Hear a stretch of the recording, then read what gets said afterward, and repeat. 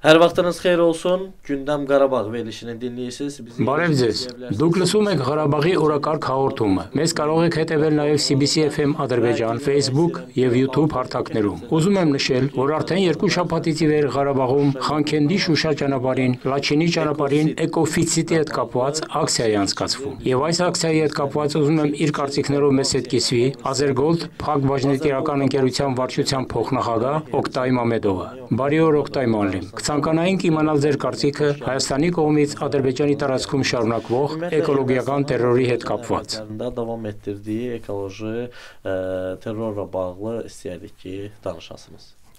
Teşekkür ederim. Sabahınız xeyir olsun. Cari ilin noyabr ayının Շնորհակալություն։ Ընթացիկ տարվա նոյեմբերի 10-ից 14-ը, ինչպես նաև նոյեմբերի 16-ին եւ 18-ին Ադրբեջանի այն տարածքներում, որտեղ ժամանակավորապես տեղակայված է ռուսական խաղապահ զորախումբը, Ադրբեջանի տարածքում գտնվող հանքերից Հայաստանի Հանրապետության ուղությամբ ապարների ապօրինի տեղափոխման փաստերի բացահայտումը եւս մեկ անգամ հաստատեց Հայաստանի կողմից Ադրբեջանի ինքնիշխան տարածքներում բնական պաշարների թալանի շարունակությունը։ Ձեր ձեռք բերված տեղեկությունների համաձայն նախկին Աղդերեի ներկայիս թերթերի շրջանի տարածքում հատկապես Գզելբուլաղ ոսկու եւ Դեմիրլի պղնձամոլիբդենային հանքավայրերում բնական պաշարների ինտենսիվ թալանի պատճառով նշված տարածքում բնապահպանական մեծ վնաս է հասցվել։ Այս առնչությամբ Ադրբեջանի Հանրապետության բնապահպանության եւ բնական պաշարների նախարարության, տնտեսության նախարարության առընթեր անշարժ գույքի պետական ծառայության եւ Ազերգոլդ Փակ բաժնետիրական ընկերության ներկայացուցիչները օգտակար հանածոների ապօրինի շահգործում իրականացվող վայրերում մշտադիտարկում,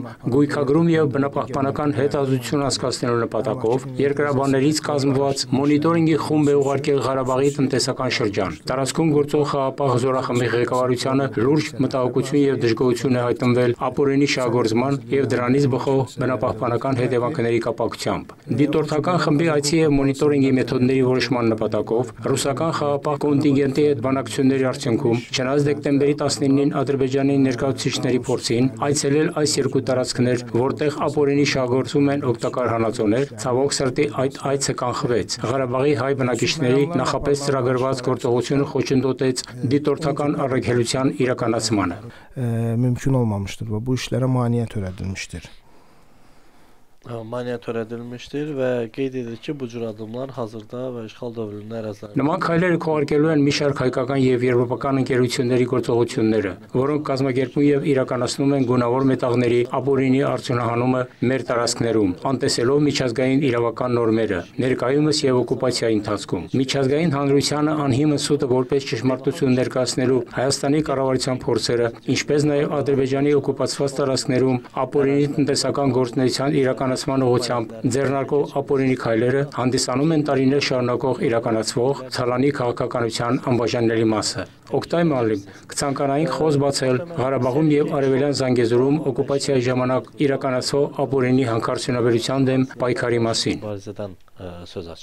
Bəli, bildiyiniz kimi ölkəmizin zəngin faydalı qazıntı yataqlarının Ինչպես գիտեք, մեր երկրի հարուստ օգտակար հանածոների հանքավայրերից գալի մասը գտնվում է հողերում, որոնք մեր հաղթանակած բանակի կողմից ազատագրվել են 2020 թվականին Գերագույն գլխավոր հրամանատար նախագահ Իլհամ Ալիևի ղեկավարությամբ։ Ղարաբաղում եւ Արևելյան Զանգեզուրում թանկարժեք մետաղների բազմաթիվ հանքավայրեր ժամանակի մեծ նշանակություն են ունեցել Ադրբեջանի տնտեսական ներուժի համար։ Սակայն օկուպացիայի երկար տարիների ընթացքում նշված ռեսուրս ռեսուրսները թալանվել են հայերի կողմից եւ արտահանվել արտերկիր, իսկ այդ տարածքները ենթարկվել են բնապահպանական ահաբեկչության։ Մասնավորապես ինտենսիվորեն շահգործվել են Քերբեջարի, Զանգիլանի եւ Թերթերի շրջանների օկուպացված տարածքներում գտնվող հանքավայրերի ոսկու, արծաթի, պղնձի, մոլիբդենի եւ այլ բաշարներ։ Անօրինական արդյունահանման եւ վաճառքի արդյունքում ձեռք բերված ապօրինի եկամուտները կարևոր դեր են խաղացել Հայաստանի Հանրապետության եւ հատկապես անօրինական ռեժիմի ֆինանսավորման գործում։ Դրանով իսկ լուրջ վնաս հասցնել հասցնելով Ադրբեջանի Հանրապետության տնտեսական եւ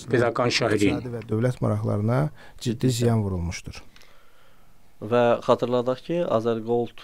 qapalı սեմդար Նշենք, որ Azergold Փակ բաժնետարական ընկերությունը բաց աղբյուրների հիման վրա համապատասխան ուսումնասիրություններ է իրականացրել օկուպացված տարածքներում գունավոր մետաղների ապօրինի արդյունահանմանը իրավական գնահատական տալու նպատակով եւ կցանկանայի մեր քննարկումները շարունակել այս ուղղությամբ։ E, bəli, Azərgold e, fəaliyyətə başladığı dövrdən işğal edilmiş ərazilərdə aparılan Այս առնչությամբ ձեռք բերված նյութերը 2018 թվականին ներկայացվել են Ադրբեջանի Հանրապետության գլխավոր դատախազությանը։ Հետաքննության հերթական փուլում գործընթացում ներգրավվել են հեղինակավոր միջազգային իրավաբանական ընկերություն եւ մի շարք տեղական փորձագետներ, իսկ պատրաստի վերջնական փաստաթղթերը ուղարկվել են համապատասխան պետական կառույցներ։ və əldə edilmiş yekun sənədlər aidiyyəti dövlət strukturuna yönləndirilmişdir. Və sözgedən sənədlərdə qeyri-qanuni hasilat və Վերոհիշալ փաստաթղթերը պարունակում են բաց աղբյուրներից հավաքագրված մանրամասն տեղեկություն, անօրինական արտադրության եւ առևտրի մեջ ներգրավված անձանց եւ ընկերությունների, նրանց աջակցող հանցավոր ցանցերի եւ նրանց անօրինական գործունեության մասին։ Հետազոտական նյութերը պարունակում են առաջարկությունները միջազգային տարբեր ատյաններում կիրառվելիք իրավական միջոցների վերաբերյալ, ընդդեմ անօրինական գործողություններ կատարած հայկական, ինչպես նաեւ օտարերկրյա ընկերությունների։ 呃 və işğaldan sonra hazırda ölkəmizin nəzarətində olan sözü gedən yataq Նշենք, որ այս պահին կրկին անգամ գնահատվում են Ադրբեջանի վերահսկողության տակ գտնվող նշված հանքավայրերի պաշարները եւ հաշվարկվում է համապատասխան պետական կառույցների կողմից ապօրինի արդյունահանման արդյունքում Ադրբեջանին պատճառված վնասի չափը։ Այս առումով Ադրբեջանի տարածքներում, որտեղ ժամանակավորապես տեղակայված են ռուսական խաղապահ ուժերը, պետք է կանխվեն մոնիտորինգի եւ այլ աշխատանքների իրականացման խոչընդոտելու փորձերը եւ ապահովի առաքելության իրականացումը։ 2022 թվականից սկսած Ազերգոld Փակ բաժնետիրական ընկերությունը եւ Գուքային հարցերով pedagogan ծառայությունը համատեղ իրականացնում են Ադրբեջանի Հանրապետության նախկինում օկուպացված տարածքներում գունավոր մետաղների ապօրինի արդյունահանմանը եւ առևտրին միջազգային մակարդակով իրավական գնահատականի տրման նախագիծը։ Համոզված ենք, որ իրականացված ուսումնասիրությունների արդյունքում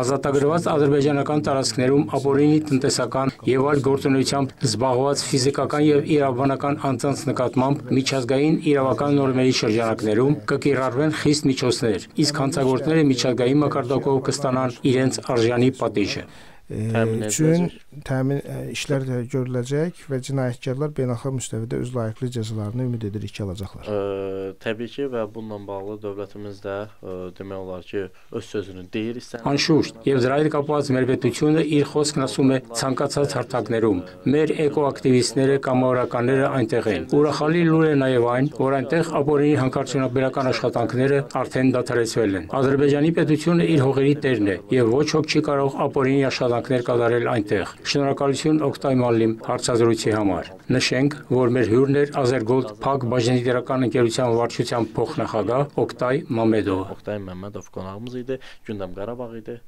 Qarabağın gündəmi də bəllidir. Qarabağ Azərbaycandır. Sağ olun, salamat qalın.